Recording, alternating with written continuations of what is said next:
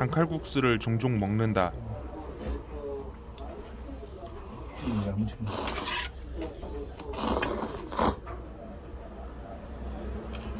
칼칼한 맛이 일품이라 전국 곳곳에서 다양한 사람들이 찾아온다.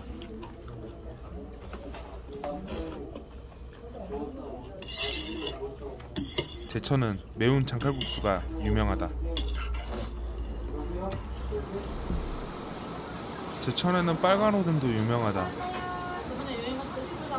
어묵에 매운 양념을 발라 칼칼한 맛을 살렸다. 제천 빨간 오뎅은 이미 전국적으로도 유명하다. 제천은 어떻게 매운맛의 고장이 됐을까?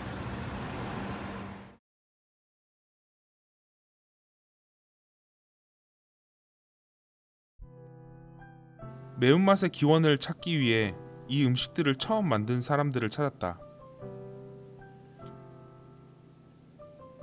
제천역 맞은편 장칼국수 원조집이 있다. 보령식당이다. 보령식당은 54년 전 개업해 제천에서 처음으로 장칼국수를 팔기 시작한 식당이다. 세월의 흔적이 가게 곳곳에 있다. 친척 어른이 하던 가게를 이어받아 운영하는 임춘영 씨는 우리에게 장칼국수라는 매운맛이 어떻게 시작됐는지 소개했다. 광산이 주위에 많잖아요. 광산이 주위가 많고 또 영월, 태백 그쪽도 어, 광산 광부들이 많으시니까 그분들이 이제 주로 열차를 이용을 하시면서 아, 당시에는 이제 그 역전에 이제 홍익 우동이라는 게 옛날에 에, 있었는데 그 홍익 우동을 못 드신 분들은 여기 오셔갖고 드시고 그리고 이제 뭐 또 술, 술도 이래 한 잔씩 하고 가실 수 있는 제천은 탄광산업의 중심지였다. 정선, 영월, 태백의 광부들은 제천으로 모였다. 광부들에게 장칼국수는 허기를 채우는 식사였고 또 안주였다. 빨간 오뎅의 원조를 찾았다. 약속을 잡고 향한 곳은 의림지 파크랜드. 군밤을 팔고 있는 김윤숙 씨가 그 주인공이다. 그에게 빨간 오뎅의 기원에 대해 물었다. 처음에 이제 어떤 할머니들이 이렇게 이제 오봉에다가 이제 오뎅을 밑에서 삶아가지고 이렇게 오봉에다 깔아가지고 그냥 이렇게 멀건 것만 설설설설 문대가지고 했었어요. 근데 제- 그거를 제가 보고 아 이거는 저렇게 하면 안 되는데 싶어서 제가 이제 머리를 써가지고 이제 판에다 해서 밑에서 불을 떼가면서 이제 양념을 얹어가면서 이렇게 한 거예요 그게. 음식이 좀 칼칼한 걸 좋아해요.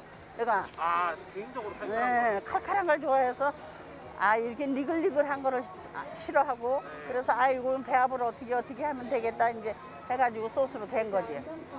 아니 우리는 농가에서 직접 사와요. 제천 농가에서 예. 왜냐 농사 짓는 사람들한테 한꺼번에 살 때 몇백 근씩 사가지고 이제 따듬어서 빠- 제가 직접 빻아가지고 이렇게 해요. 맵고 맛이 없고 이거는 토종이니까 칼칼하고 맛있지. 맛있는 매운맛은 제천 고추가 비법이었다. 그런데 제천은 고추 재배지로는 전국 50위권에도 들지 못한다. 어떻게 매운맛의 고장이 된 것일까? 제천은 강원도, 충청북도, 경상북도 등세 개도의 경계에 있다. 철도는 충북선, 태백선, 그리고 중앙선이 지나간다. 고추 상인의 양정환 씨는 교통 발달이 제천 고추가 유명한 결정적 이유라고 말한다. 기차 철로로드 때문에 그게 이제 유통이 이제 강원도서부터 조금 내려가면 영주 풍기 이제 요즘은 이제 안동까지 그러다 보니까 이제 이 형성이 되다 보니까 그렇게 물건을 막 수집해서 오는 수단이 좋았다 이거죠. 그 강원도가 그 이- 일교차가 심한 도잖아요. 네. 일교차가 심해서 이게 과일 당도나 고추 당도나 매운맛과 당도가 같이 섞여야 되지. 그러나 이 저기 빨간 오뎅에 쓰는 그 사람들은 주로 매운 청양고추를 쓴다고.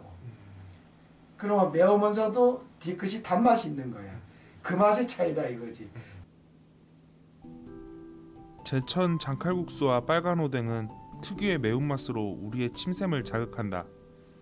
한 번 먹으면 누구나 빠질 법한 인공적이지 않은 자연 그대로의 매운맛이 비법이었다. 근래에 스트레스 받을 일이 있다면 칼칼한 장칼국수와 빨간 오뎅을 먹으러 가는 것은 어떨까?